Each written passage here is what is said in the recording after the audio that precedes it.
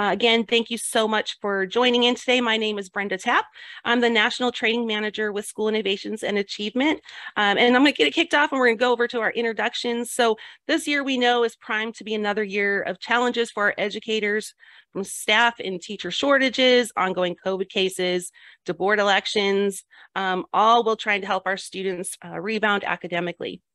If you've struggled to boost engagement, build community access, our community across the campus, campuses or develop positive relationships, you're in the right place today. So I'm glad you were able to make it. So in this webinar, equity and engagement leaders from Joliet School uh, Public Schools uh, will share strategies on implementing. They're really going to be the, the prime speakers in this webinar because I want them to share their story and their experience. Our goal is that you'll take away best, some best practices and strategies to positively engage stakeholders, increase learning time, and get students back on track. Uh, we will use the Q&A for questions and answers if time permits at the end, we'll go over those questions and answers together. And if we don't have time, well, as follow-up, you, you will all receive a recording um, of our webinar today, as well as those answers to the Q&A. But we'll try to leave time so we can answer any of those questions along the way. Again, you'll just utilize that Q&A um, button on your Zoom. All right, without further ado, let's get started on our introductions. All right, so um, first of all, again, I'm Brenda Tapp. I'm with SINA National Training Manager. I also have my colleague, um, Justin Marlowe. He is our Regional Account man Manager out in the Midwest. Um, and I have the extreme pleasure of introducing one of my favorite people, Dr. Uh, Teresa Rouse from the Joliet School District. She's been uh, superintendent there for over seven years. Uh, she's a true leader. And what I love about Dr. Rouse is not only her dedication, she's unrelenting and through all of this past few years and before and after I know, she's been able to keep a sense of humor and keep her spirits high on her team and promoting um, a positive environment for, for their team. But when others want to cry, she's keeping them laughing. So I absolutely love that. Dr. Rouse, would you like to introduce your team? Thank you, Brenda. Yeah, there's, I always figure I should probably have been a stand up comedian sometimes, but it's all good. You know, so rather than trying to figure out if everybody is in um, afternoon or morning, we'll just go with happy hump day it works, right? Okay, so my name is Dr. Teresa Rouse. This is my seventh year here in Joliet um, um, as superintendent and um, loving everything that we have going on in the district. And for introduction's sake, from our Equity and Student Services Division, I have with us today Dr. Sunny McNeil, who's our Assistant Superintendent, and Mr. Dwayne Williams, who's our Director um, in that division. And both of them have all of the great answers you're going to be looking for today um, and we'll continue through our our content as we as we work through this hour. And so thankful everybody's here to join us. Great. And dr rouse can you tell us a little bit about your district? What makes you guys stand apart? You know i think i think there's a lot of things that make us stand out as a as a, a unique and special place. Um, and that's a lot to say for our our the makeup of our district uh, as far as our students and our staff. We're about 65% Hispanic, 22% African American, the rest white or other. We're the third largest elementary school district in the state of Illinois. Um, so we don't have high schools. So those of you who do have high schools, God bless you. But that's not our that's not our vision and mission. Um, we're we're all about the pre-K through eighth grade. Um, we've got one early childhood center, 15 elementary schools, four junior highs, and one alternative program. And, um, you know, we basically, we have students uh, roughly about 9,500, 9,600 across 21 campuses.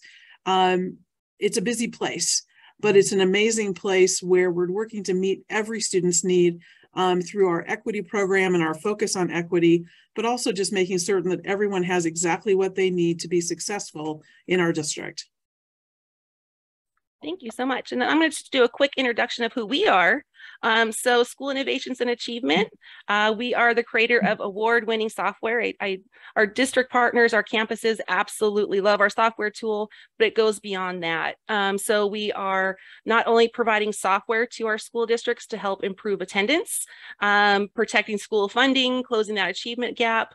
Um, Joliet uh, has is going to their second year with us, and we thought we wanted to share their story and their experience with you and what they've seen since implementing a systems approach to attacking attendance, right? And getting those kids back on track and where they need to be. Uh, we've been uh, working on attend or working with attendance, improving attendance for over for 20 years. Mm. Uh, currently work with uh, over 2 million students. So we've been around a while. We know what we're doing and we've been perfecting that. So today we'll be talking about that a little bit. I'm gonna have Justin talk just a little bit more in detail. I just want to have give you guys kind of an overview of who we are and what we're about. We're really about partnering with our districts. Um, I, I was cringe when I hear the word vendor because I true we truly see ourselves as a part of your district um, once implemented. Justin, Thank what can you, you tell us? Yes, thank you, Brenda. Um, when we take a look at this uh, pyramid here and the um, achievement initiative, a couple things I just want to point out. Down at the bottom, tier one, universal interventions. Uh, we're going to talk about this a little later, but these are interventions for those students who are have uh, excused absence, unexcused, tardy, um, as well as a welcome letter from the superintendent. And these are those touch points that go out to those students so that we can prevent them from becoming chronic um, when it comes to absenteeism.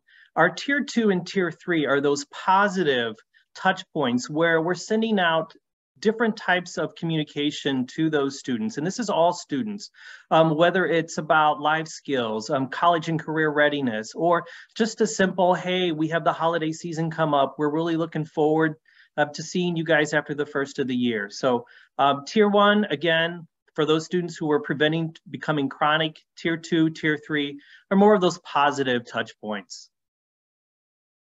Awesome, thank you so much for that.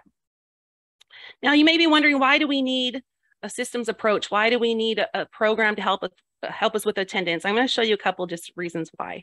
Um, we know that because of the pandemic, there is a new bubble um, not necessarily a great bubble, but there's a bubble. When we think about this year's 12th graders, if you have those high schoolers on your campus, uh, those 12th graders, if we think back and reflect over the past several years, the last normal year of school they had, and normal, I don't know what year is normal, right? The most normal year of school um, for those students was at eighth grade. That was pre-COVID, pre-face mask quarantine, self social distancing, right? That normal. If you look at your current eighth graders, those ones that are preparing to go into high school, their last normal year was fourth grade. And when we look at our our our third graders, which are now in the third, fourth year of school, they've never known school um, without all of these uh, quarantine factors and face masks and social distancing. They've never had that normalcy. So these kids are transitioning through your district. The most important thing that we can do is make sure that they're here every day because we've got some recovery um, to, with these students to get them back on track as far as social skills, interacting with each other. We know there's anxiety issues. So how do we re reset that? Um, and, and thinking about the impact. So how many of our students will be reading by third grade, right? Because we know that chronic absenteeism greatly impacts that. Um, also, we have, because we do work nationwide, We've been tracking attendance nationwide for our A2A partners. Um, and so what we've seen is back in 2019-20, right before the schools closed down nationwide, we saw the chronic rate at about 13.6%. And if we look at where we ended the last school year, the average was 29.6. So almost tripled in the past three years. And another thing we look at is not just our chronic students, which is reflected in the red, those are those percentages. I'm also looking over to the left where we look at the students who typically had really good attendance. So our students had excellent attendance showed up almost every day. A few years ago, 21% of those students were showing up almost every single day versus just 8% this last school year. And we know there's many factors and many reasons for that. But what we also know is that bad habits have been learned um, and good attendance habits haven't been haven't been um, learned by our families because they really haven't had the opportunity. Um, so this is one thing to consider as you go in. Your data may look something like this, where your chronic absenteeism isn't right where, we want it to be. Um, when we take a snapshot at the first 30 days of the school year this year nationwide, it's not reflected here on the slide, uh, we're down to about 25%. So it's getting a little bit better as far as chronic absenteeism, but nowhere near where we need to be or want to be. So we've got some serious work ahead of us. And we know that missing school has a, a long-term impact on our students. Um, you think back to, or think to your parents and, and even yourselves, just a couple days here, you know, we're gonna keep, keep take an extra Friday off for my child or for my student, right? I'm gonna take this day, an extra day here or there. Those days really add up very, very easily. So if we look at a student who misses four days per quarter, which is 16 days per year, that happens every year they're missing over a year over their whole educational experience a year of schooling just by missing those few days every um, every year right and adds up very quickly and even being on uh, being late uh, uh, also reflects a huge amount of lost learning time. So what can we do to help with that? Um, is to make sure and ensure that we're communicating with our families so that they understand the importance of showing up and how that time really does add up. All right, so I want to ask some questions instead of me talking all the time. Um, so I'm going to throw this over to the Joliet team. Um, so I know that we've seen kind of the impact of the pandemic and we have these new opportunities ahead of us. Uh, I want to take a step back. So what problems were you trying to solve? And now that you've implemented a systems approach, has and how has this helped you with your schools, uh, with what your schools are up against? So how does that systems approach help? What were you trying to solve? Go ahead, Dr. McNeil. so, what we were trying to do is a couple things. One, we know that we need students in school to learn. Everything we do is for student achievement. Um, so we're always trying to figure out how we can improve our academic outcomes. And one of the things that play into that um, is attendance, obviously. And so what we were trying to do is systemize. We, we've had some systems and some structures in place, um, but we were looking at ways to um, to increase our efforts without overwhelming our staff. Um, we were looking at way we wanted to consider ways of looking at our data that was going to produce some some outcomes that were going to be impactful. Um, so the when we partnered up with A2A, it was it was very timely because as I think Dr. Rouse was um, somewhere and she connected with a few people and we had already been spinning our wheels trying to figure out what are we going to do to make sure that we get ahead of these habits that we were developing. And as we were trying to roll to a um, you know, in on in-person learning initiative during that time, how can we um, improve our efforts? How can we be more um, strategy based? How can we make sure that we do all these beautiful things without overwhelming the staff that we had? Um, and so then she ran into some partners there, and um, the rest is history. Awesome. Justin, did you want to add anything to that? No, I, I think that was very well said, Dr. McNeil. Thank you so much. But, you know, one of the things that we think about and we talk about um, here in the last few years is one, you know, every school district has a, a SIS, um, and it's it's more and more common that we're starting to see districts pull up an IEP management system for those students who are struggling, especially within the last two years during the pandemic. We're seeing more and more learning loss, um, unfinished learning as well throughout the last couple of years, which has then pre presented to those districts of a learning management system of having to do this remote learning, the more of um, getting those students the information virtually. But I don't think what we really think about is an, attend, an attendance management system. Um, that attendance management system really works well with all three of these systems. Um, it talks to all three of these systems. As Dr. McNeil said, what's the overall goal? Student achievement. If we don't have students in buildings, we can't teach them. And that attendance management system is going to work very well and complement all three of these systems. Great, thank you. The next question, I'm going to shoot over to Dr. McNeil and Dwayne. Um, since we have our um, leaders of equity, uh, I'm going to throw this question out to you guys. So how has implementing a systems approach supported your focus on equity um, with so many other things going on? Okay, I'll take that one. Uh, so obviously with equity, we're looking at individualizing our efforts, right? We want to make sure that we're doing what we can for each student to make sure that they're uh, attending school adequately.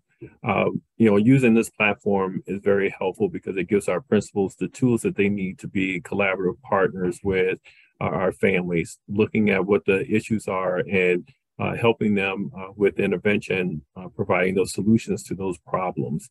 Uh, you know, being an elementary school district, um, you know, students who don't attend school regularly is uh, more of an adult issue. So it's uh, our our principals having the tools that they need, the information that they need to have those focused conversations with parents um, to address those attendance issues. Thank you for that. It's fantastic. Justin, any thoughts for you for, from your perspective? Um, yeah, you know, when we talk about equity, it's process driven. And I think this slide right here really speaks for itself because any type of process that you have that is personal dependent um, really weighs on that individual. Um, in the event that an individual might not be at school that day or in two days, that whether it's an attendance clerk or a secretary, um, you're going to have inconsistent processes. Not everything's going to flow. We we always talk about the importance of the secretary, and um, and I'm sure Dr. Rouse and and Dr. McNeil and, and Dwayne probably wouldn't be able to do their jobs without their secretaries.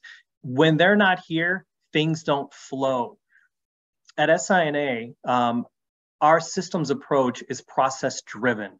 So therefore, whether that individual is there or not, the process still continues. And Dwayne just touched on that is this process with the principals is providing that collaboration and that communication with families. And so when you look at this again, personal dependent, we're depending on that one individual or two individuals. Process driven, consistency. It's going to continue to move forward whether that individual is there or not. Fantastic. I'm excited for the next question.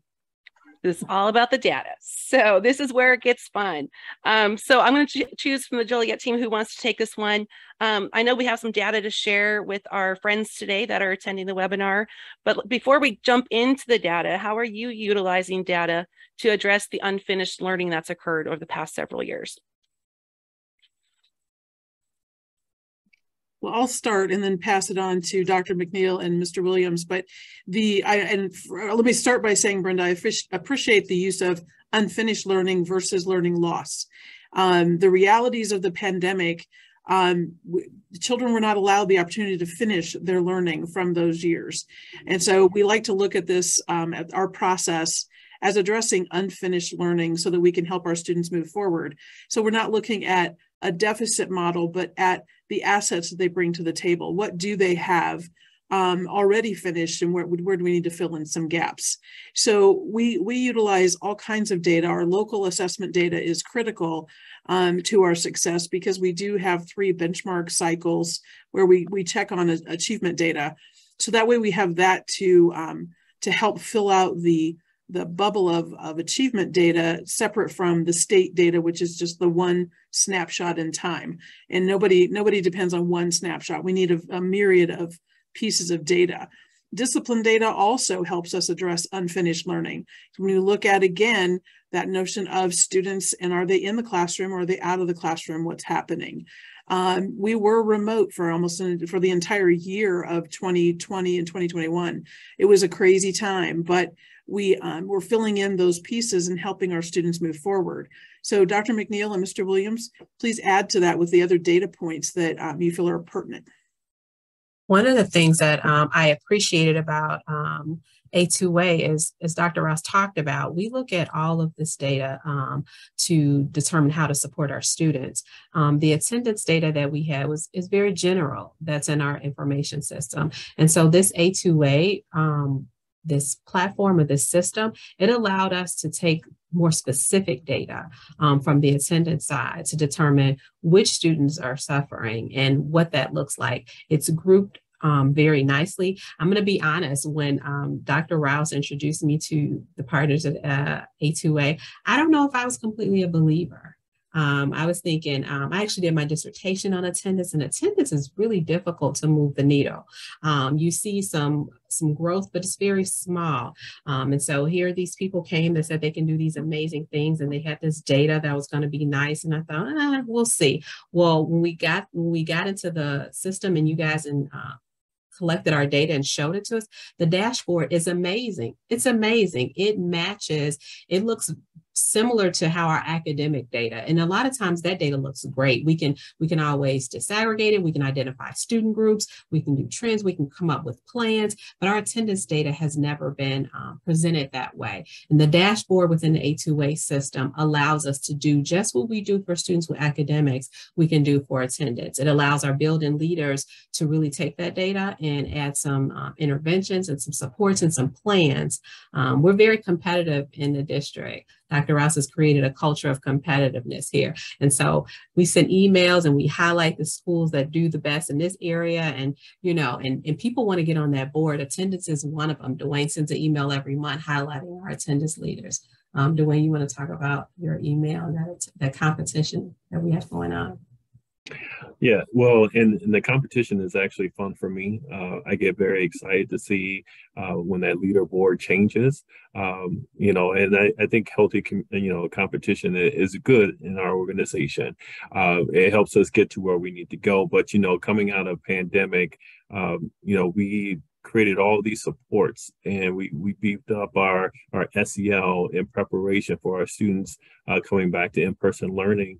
Um, you know, we were ready to tackle, um, you know, that what what we needed to compensate for uh, students being in, in remote learning.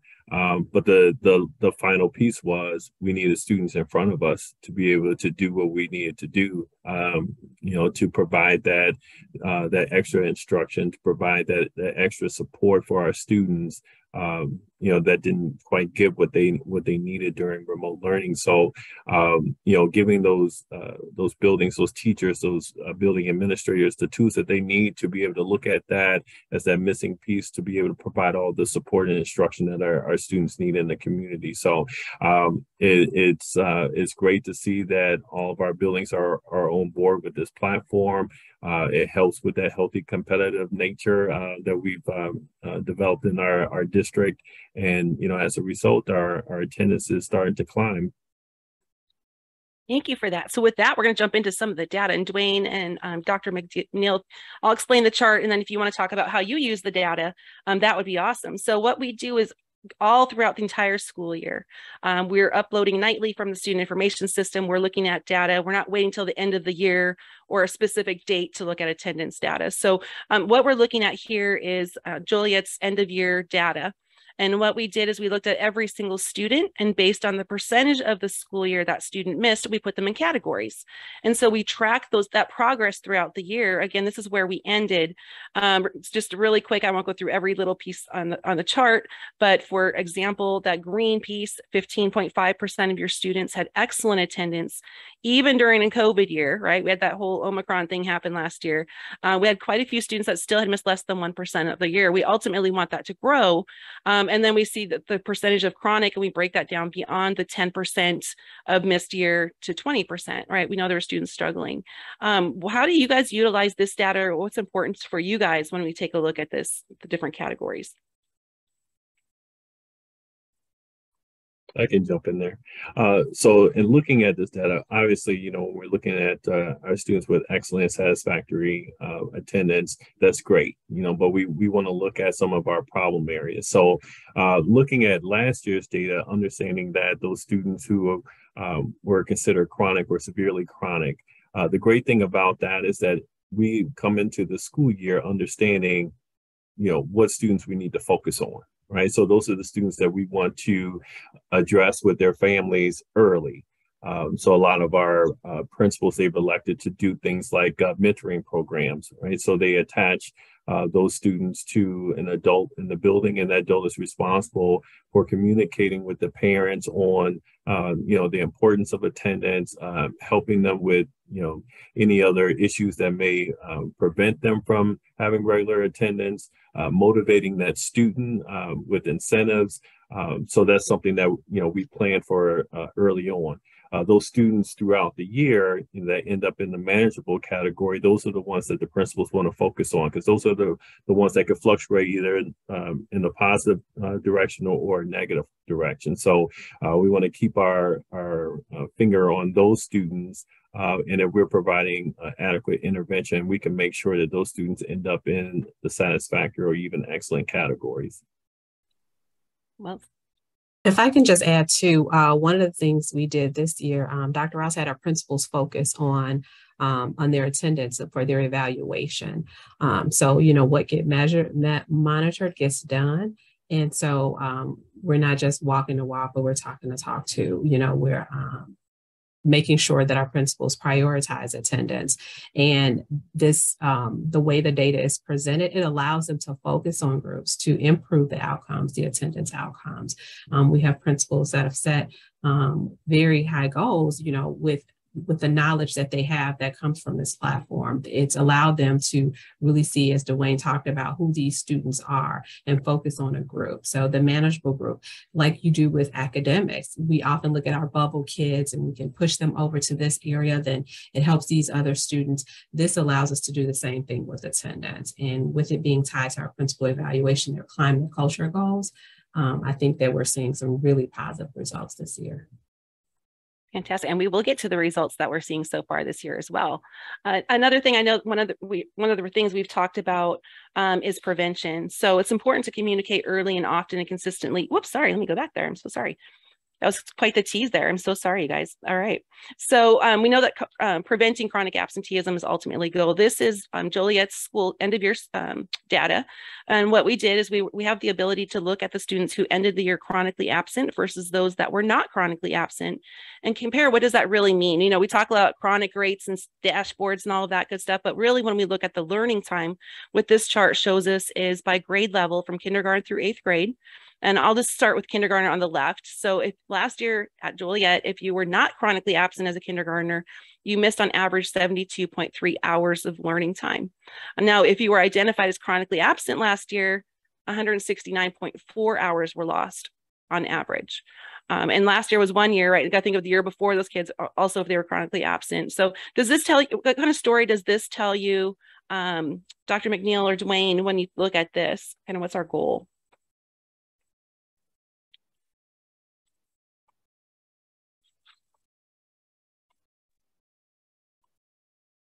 Did you want me to go in there? Or? Go ahead. You can. I was I got stuck. I'm sorry. we, were, we were playing a game of chicken there.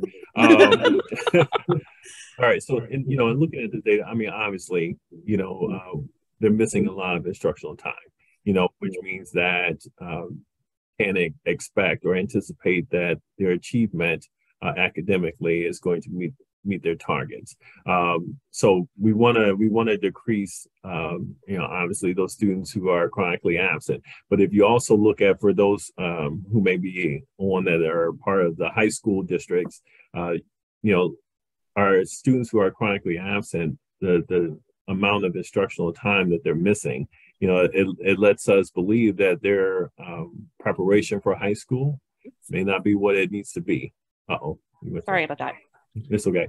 Uh, so we we we want to rectify that. We want to make sure that our students that we're graduating are prepared for uh, high school. We want to make sure that we we get to these early grades as well because those gaps continue to increase exponentially as they go along um, from kindergarten on. So um, you know that's how we look at this data, and and we want to address you know those situations there so that our students are more prepared and, and we can uh, start to uh, expect uh, and do the things that we need to do for higher student achievement.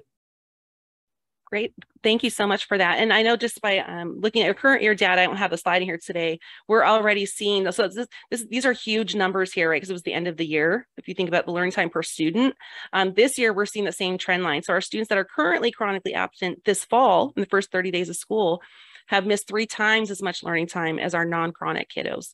So um, for Joliet, we know who those kids that were chronically absent were last year. They're actually identified within the A2A platform, and we track the progress of those students as well. And right now, what we're seeing is about 45% of the students that were chronically absent last year are chronically absent already this year. The advantage is we're early in the year, right? So there's still time. So some other things that we look at is when are kids missing school?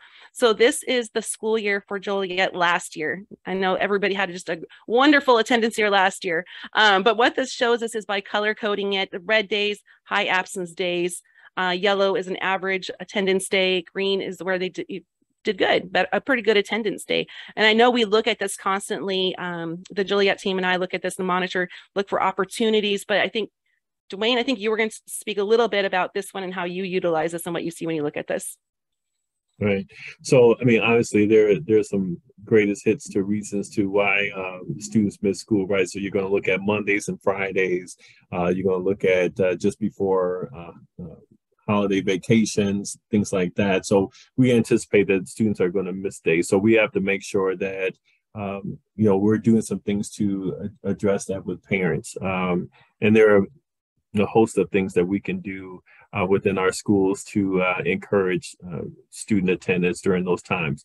But we also notice that uh, on our half days, um, students don't don't attend school regularly. Um, and so we have to look at what that's about. You know, is it a, a child care issue? Um, is it a lack of, um, you know, feeling that those days are important for uh, for student attendance? Um, and so when we look at our calendar, you know, it allows us to make some some decisions as to you know what that looks like year over year. Um, do we want to make some adjustments uh, with what we do, and then how we are encouraging students to attend uh, during those high, um, you know, absenteeism days. Absolutely. Thank you so much. All right, and let's talk about progress right? So it is what we're doing working, I, I, think is what we want to talk about really quickly. So what this shows us is a point in time comparison. So the first 31 days of school this year versus last year, what are we looking like? So this is that pie chart, but in a year over year format. So it's showing us that our excellent on the far left has increased over last year at this time. And if I go to the opposite end of that form on the far right, we see that the chronic absenteeism is down compared to last year at this time. I see that smile, Dr. McNeil. Um, so we're seeing some improvements. And we know this has not been an easy year for attendance yet again, um, but we'll talk about some of the things that your campuses are doing to get these results in lieu of everything that's going on um, in our schools in the first 30 days for sure. Did you guys want to chime in on anything on this? Otherwise, I will um, go to our next slide, but either way. Keep going? Okay. All right, and here also um, one of the things that we look at is this is um, for the first 30 days, we, we break data down by in so many different ways.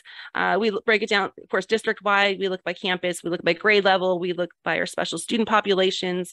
Um, here's just an example of the type of reporting that we look at as far as by grade level. Um, one of the advantages, um, I think you guys would agree, is having the ability to compare yourself. So we saw your guys' attendance, like chronic absenteeism is down, but how's that compared to everybody else? So that green green line represents uh, over 2 million students nationwide and that average, the A2A average. Um, so that's the green line. So you guys, lower is better. Again, one of the reasons I selected, we selected to, to work with you today, um, have this webinar share out because what you're doing seems to be working. So um, great job there. Of course, we have room for improvement. Um, and also that national average used to be down to like closer to 10%. So we can see we're still struggling to get kids back on um, track. And again, that's because of those habits that have been um, have been learned or not created, unfortunately, over the past few years.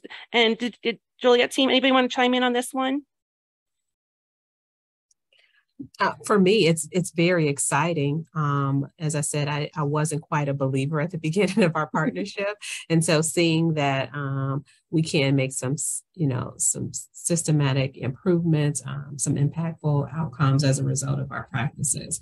And this year, um, has been we've been more committed and dedicated. I think last year for us in our area, we were still operating with um, protocols that were in place from our health department. And so families were, you know, having to keep kids home. And so that attendance was very inconclusive. Every year we try to find a better way of reporting, um, you know, virtually present um, and that level of engagement. But um, now having all of our campuses on board with this, I think we're seeing the results. So I'm definitely a believer. So this is good. And I never knew that you had doubts, Dr. McNeil. So uh, glad we made you a believer. Um, Justin, did you want to add anything in before we move on to the next question? You know, uh, uh, the only thing I just wanted to add was um, the slide previous to this one of where you guys were at at this point last year compared to where you are now. Um, this just shows the testament to all three of you and what you're doing and the investment that you're putting in. And showing that attendance is important. Um, this is a lot of time and commitment for you, for your principals, and it's starting to pay off. And it's paying off because you're getting students in school. Um, and that's our ultimate goal. In order to get a student achievement, we need them there. And, and this is just great. This is uh, fantastic data right here to show what you've done over the course of the year. So I applaud all three of you for this and um, looking forward to seeing what the end of the year results will bring us. Okay, so this is, I think, the question here for everybody is, you know, during the pandemic, many districts opted to kind of hold back on the communication regarding attendance, right? We don't want their kids at school sick.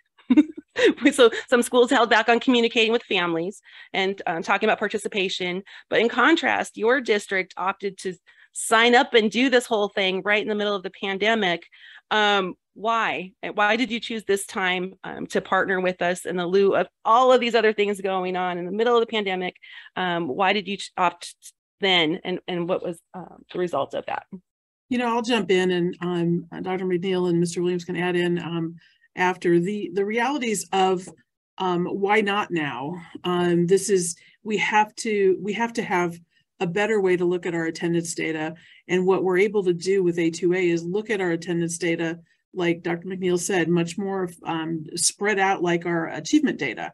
Um, and during the pandemic, things were crazy. Yes. Was it rough? Yes. Is the data not what we wanted? Yeah. But it's what we're able to show that growth coming out of the pandemic. And, you know, uh, the, the notion of, I, we don't want to go back to anything. You know, people talk about going back to normal. No, normal's a setting on the clothes dryer and we're not going backwards.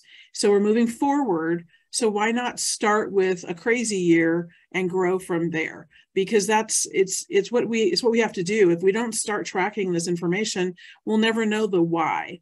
Um, and to get to the why, you've got to have the data, and that's what the product provides us. Fantastic. So I just want to show our friends who are attending today uh, what happened during your first year of A2A. so A2A, um, for those of you that aren't familiar, um, we gather the, the student um, information from the student information system. Um, we generate attendance notifications based on the student's attendance. Uh, schools are actively involved in the review process. Um, so we all show our schools who's going to be receiving a letter, what letter and why addressing not only unexcused absences, but also excused absences, even during Omicron year. Um, this is a big part of your chronic absenteeism. Um, and we also communicate, um, Dr. Rouse does, uh, we push the print button for her um, on a positive welcome back. We're happy that you're here um, letter from the superintendent that goes to all families. Uh, so last year, a, a huge amount of communication went out. In fact, almost 19,000 pieces went out to just the Joliet school um, schools alone. Um, A2A uh, will takes care of the printing, folding, stuffing, and mailing and sending out all those communications on behalf of the schools. So the schools don't have to worry about that. Um, now, I, I would love to hear your feedback first year, middle of COVID year, these communications are going out. What did you hear from your parents? And did you feel an impact once the communications started going out? Yes, absolutely. Parents, um, we would get calls from, it was new, it was very new, which it actually exposed, um, as I said, we were, our need to system to do better with um, approaching um, our attendance efforts. Parents were calling, they were getting those letters. They wanted to know what they were about. They wanted to know um, the why. It was, it was um, creating some organic conversations around attendance. It prompted our families to come to us. So it um, the response was great. What is this letter for? Why, why am I getting this letter? And what is this about? And it was very different from the letters we had sent in the past. And that's what we wanted. We wanted to improve our our conversations with our families because those were opportunities that we used to converse with them about the importance of being in school and and re uh, strengthening those habits around attendance. Um, so it was it was absolutely uh, it was perfect in, in how it happened because it brought more families um, to us. Fantastic. And Justin, did you want to add anything? Um, the only thing I want to add here is the save rate, and I think that's really important here when we when we talk about the communications that we're sending out.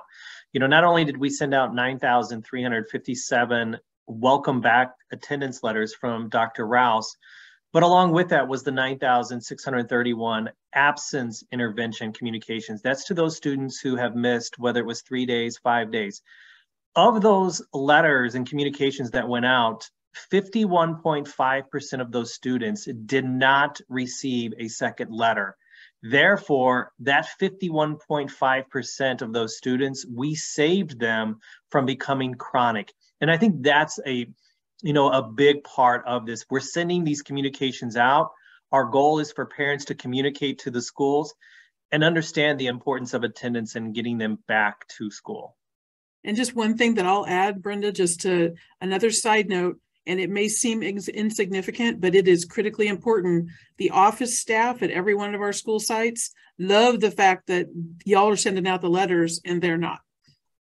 And we're happy to do it for them because that gives them the opportunity instead to use that time to communicate and connect and establish those relationships with the families. And just to give you an idea, already this year, um, over 10,500 pieces have gone out in the first 30 days of school. So we've communicated, Dr. Rouse, you have personally communicated with over 9,000 students in a positive welcome back. We're glad you're here. We got this type of letter. Oh, let me actually go over to that. So the welcome back letter, I'm going to have Justin talk about this just a little bit. This is how we start the school year with our families. Um, and again, this is signed um, from Dr. Rouse and sent by um, the Achievement Initiative or A2A. Go ahead, Justin. Yeah, thank you, Brenda. So every year we ask the superintendents to kind of put together a letter and we send that out to all of the students, not just a particular number, but to every single student. Um, some of these um, blurbs that we have here came straight from Dr. Rouse and, you know, they're pretty powerful. Um, you know, one of my favorites is attending school every day possible. Help kids get back on track that's what we're doing here. That's what we're doing in Joliet is getting kids back on track to get to that unfinished learning. Promote student learning and increase chances of graduation. How important is that? You know, Dr. McNeil, I see a smile on your face because that's what we want to accomplish here. And then a last one here, and, and I love this one, is together we will succeed. And that togetherness is our school culture, our administration, and our families and parents we can't do it alone. You can't do it alone. It's a combination of having both families, parents, and the school work together. Together, we will succeed. Um, to me, that is probably the most powerful four words that were on the entire letter. Um, but this is just kind of an example of certain things that um, Dr. Rouse has put in. I'm sure this year's letter was completely different, um, but it gives students and families the recognition of this is important. We want to be here. We want our kids there. I'll just say too, the letter is a collaborative effort. So nobody's superintendent feels like they're going to fall off the edge writing another letter. We all work together to put that in. And so I appreciate what came from the team as well.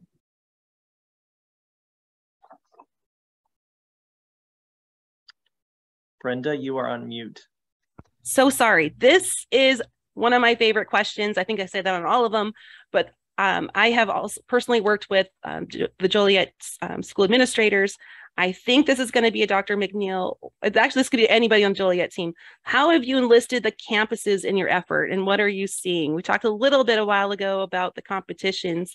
Um, I'd love for you to share what you're seeing as far as your campuses um, enlistment um, in the Achievement Initiative. I'm going to let Dwayne take this one. I'd be glad to.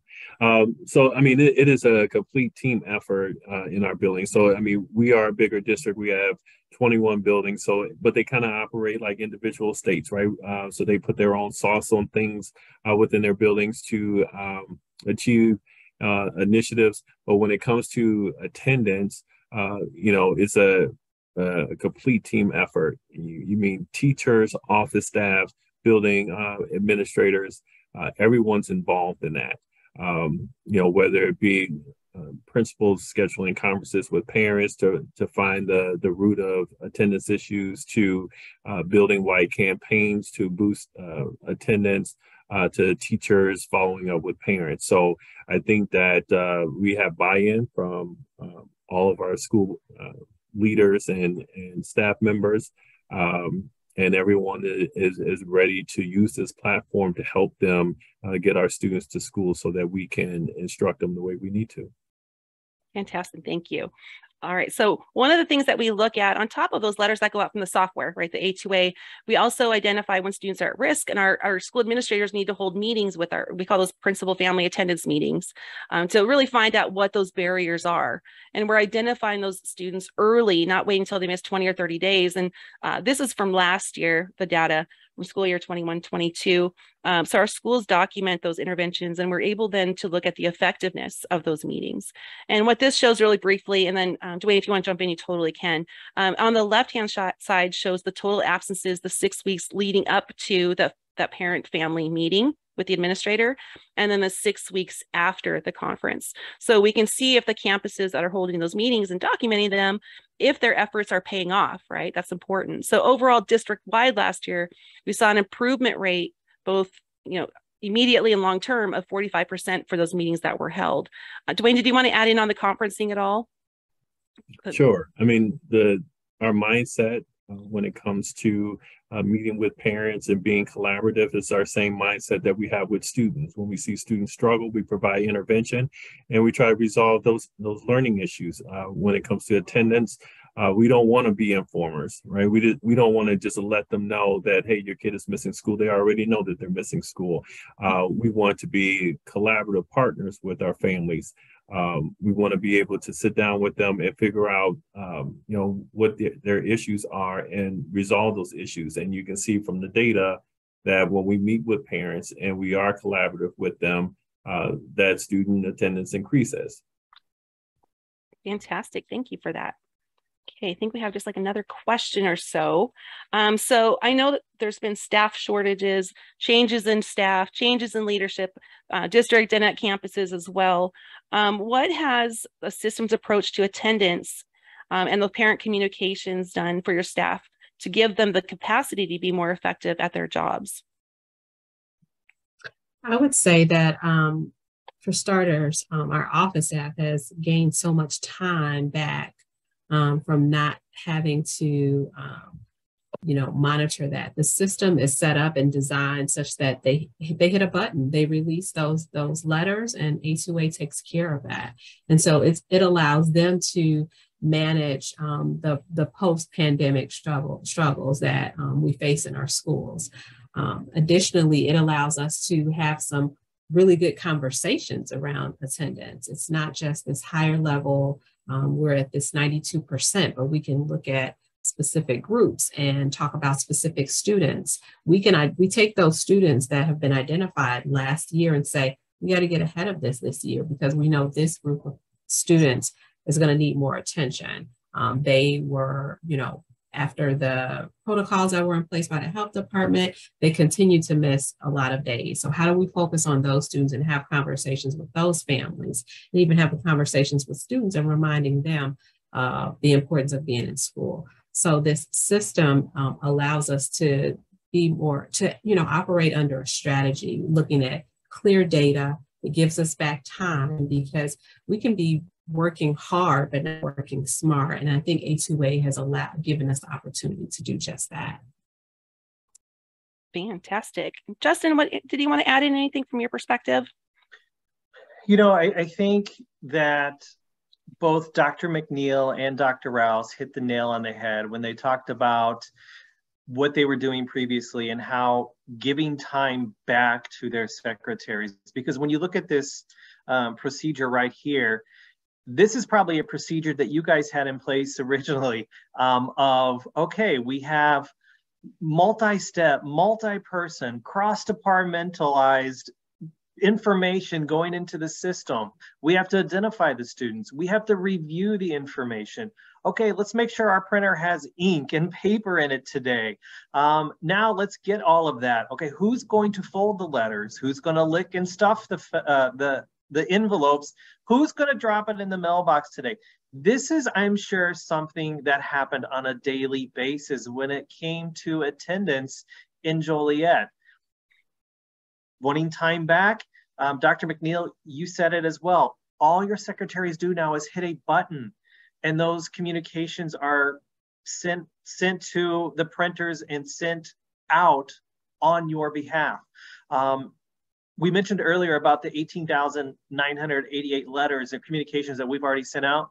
It took 10 to 15 minutes of one individual to take a look at where your students are, who are those students, and let's get it done. But not only that, but we want to talk about how it's accurate, how it's it's consistent. Every single building has the same consistency. There is no one building's doing one thing, one's doing another it's all the same. And I think that is the important piece here of, hey, those secretaries, we're giving you 10 to 12 hours of your time back in a week for you to do other important things rather than stuffing letters and envelopes and getting those out the door. And just quickly to add to that, Justin, the the reality of the the, the training that's provided um, is is top notch in quality. Brenda is amazing in getting that that handled for all of our staff um, and the their feelings of confidence in in the system. You know, I mean, I've known SINA as a company for years. Uh, worked with uh, the company in California when I was out there, um, and helped spread the spread the good word um, in in California. Was thrilled to be able to bring the this forward to our district here because of that that staff time and energy and and the that savings is is culture and climate in a building not just time. Because um, it really does help people with their their whole focus and attitude toward work at times. And and I, I agree with you there dr rouse. And i think the last thing i want to say about this here and, and it's the number that's at the bottom the 51 51.5%. The save rate, we saved 51.5% of those students from going to chronic by simply a push of a button. Right. And those, I think the other piece that really helps with that is the, first of all, the consistency. The letters are going out throughout the year. Um, nothing stops the letters other than the the end user the campus pushing stop on that letter. Most for the most part our, our campuses allow the letters to go out. They see the benefit and the value of having those conversations. But another important piece of that is when the letters do go out they look like they're coming from the campus and also they're always printed in the home language. So the the, the campus doesn't need any to do anything to make that happen. It happens automatically um, when we upload that data. Say that home language is an important piece as well. Justin i'm going to have you just um, share some takeaways for today, some final yeah. thoughts, um, yeah. and then we'll check in on the questions and answers. Yes, thanks, Brenda. So, you know, when we go back and we talk about this from the very beginning, we know that chronic absenteeism is a major issue facing so many districts today. Um, we know that attendance is the number one reason why students are failing. Um, we cannot teach kids who don't show up the three of you from Joliet know that. Um, and, and that's the important piece here. We have to start reconnecting with our families as well. Um, you guys have already done an amazing job with that. Not only last year with over with almost 19,000 communications, but also this year, 30 days in, and you're already over 10,000 communications to your students. That's amazing. Like Dr. Rouse said earlier in her um, back to school letter, together we all succeed that I think is the most important piece here together. We have to do it together. It's going to take a strong system in place to make that happen so that we leave no student left behind. Um, communication is, is essential. Well, if I could just chime in there just for a second, for anybody who's on the webinar today who wants to connect with us directly, we're available. Um, you can reach any of us, Dr. McNeil, Mr. Williams, myself, through our um, at joliet86.org email addresses. It's really easy, first initial, last name. It's an easy, easy process. Happy to help anybody think through, you know, what were the what were the things that, you know, were, were special about this. What I do know about SINA and A2A as a product is that the um, the the quickness of response when there are issues things things happen. They work with student information systems and really help get through those bumps and bubble, bubbles along the way. We, you know, we had a few challenges with our student information system, but it all worked out and it's flying and it's flowing and it's it's really really solidly in place. And this year, I think we're going to see some really amazing data as the year rolls forward. So we're available following this webinar at any time to um, to answer questions that may persist. Thank you so much for that, Dr. Rouse. Um, we absolutely love partnering with your schools and with your district. Um, I love the excitement, the competition that this is driving. Uh, you know, a lot of people think about attendance and it's not fun. To me, it's my world, but um, I love how your, your administrators even with so many things going on, they're keeping that core habit of attendance at the, at the center of all they do, right? Because if the kids aren't here, then we can't help them. Um, I'm happy to check in and see if there's any questions before we go. Um, just as a, a follow-up, you will, you, you, all of the attendees today, all of our friends attending will receive a follow-up and a copy or recording of this um, presentation today. Uh, we would love to have a conversation with you. Dr. Rouse, thank you so much for volunteering to speak with them as well. Um, Justin's happy to set up a one-on-one -on -one meeting with you you go through kind of the details of what we do. One thing I didn't mention, I just want to talk about briefly is with the Achievement Initiative. A2A is the software that drives those communications and automates and gets the reporting for us. In addition to that, we're very big on partnering with our districts. I think I said that earlier. So not only do you get the software, you also get the training. Uh, you get a designated A2A team um, that will support your campuses along the way, uh, an account rep, a data specialist, an intervention manager um, that are that know your district, work with your district um, from the beginning of implementation all the way through. Uh, we also meet with our districts uh, at least three or more times. I, I know for you guys, I meet with you more than that, but at least three more times to go over our reporting. So today you saw a very, very small snippet of Joliet's data. Um, we are all about providing actionable data, um, not just numbers for the sake of numbers, right? We want to know who these kids are. So for example, on that pie chart, with those excellent kids we were talking about, at any time, those campuses can log into A2A, click on that piece of the pie and have the name, grade level, all the details on that student right at their fingertips. And that's where uh, the Joliet schools and teams are getting those benefits that they're taking advantage of the data provided and taking advantage of that time to connect with the family. So it's been an absolute pleasure and I'm looking forward to continuing our partnership, of course, um, just on a personal note but I'm happy to check in. If there's anybody has questions, feel free to answer those in the Q&A.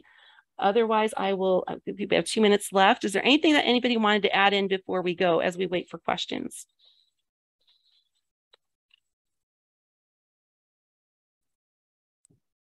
I guess I want to confirm that we're not, um, we don't work for A2A. we really just believe in the product. I mean, we've seen the results. Um, as you said, the actionable data is everything. The support, the customer service support has been second to none. Um, your team has been very responsive. Um, it's actually it's truly a godsend when it comes to looking at your attendance data and then taking the burden off of our office staff, particularly in a time where there's staff shortages and um, there's chronic attendance uh, or absenteeism across the nation. So um, I would highly recommend it. And there is, I am not being paid for this ad.